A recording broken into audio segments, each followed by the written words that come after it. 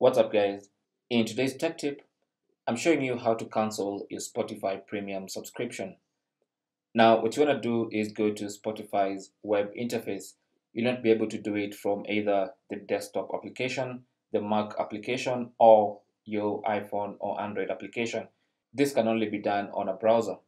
So if you're on a computer, open your favorite browser and go to spotify.com and sign into your account.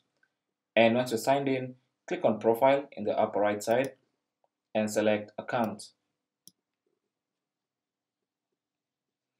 And this will open for you the account overview page. Now on this page, you want to go to the left hand side and click on Available Plans.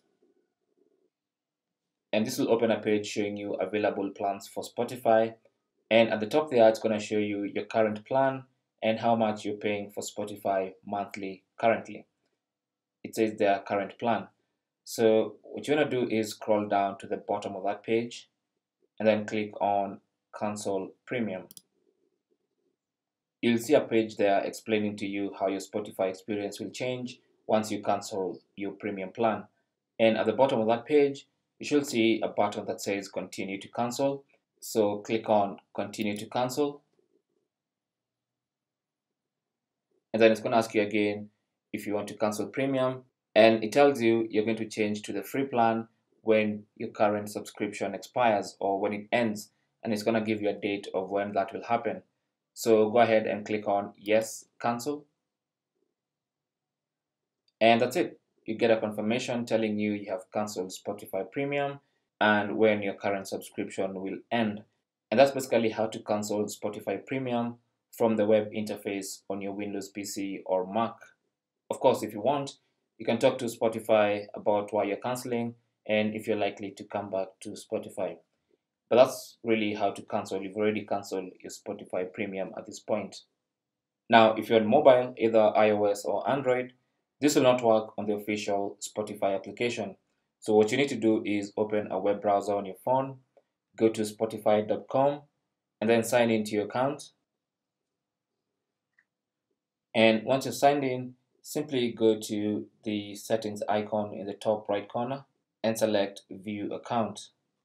Either way, you should land on this page, spotify.com slash account. All right. Now, when you're here, make sure account overview is selected at the top there.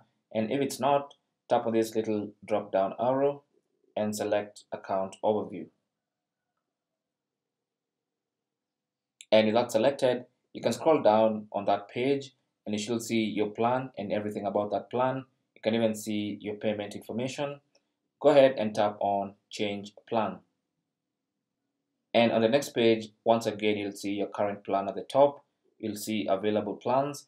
And if you scroll down, you should find the cancel premium button. So tap on that. And again, you'll see the same page telling you about how your experience will change on Spotify go ahead and tap on continue to cancel.